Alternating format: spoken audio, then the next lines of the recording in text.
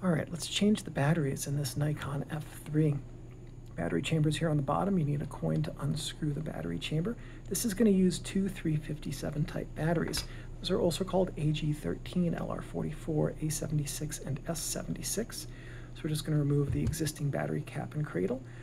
Take the two dead batteries and discard them properly.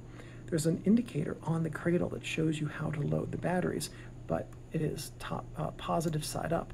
So when you hold the cradle like this, you should be able to read the text. The text is the positive side of the batteries before you put them back into the camera, just like that. Now you're just going to screw this back in.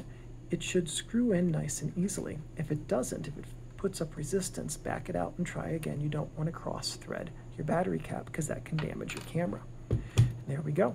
We've changed the battery.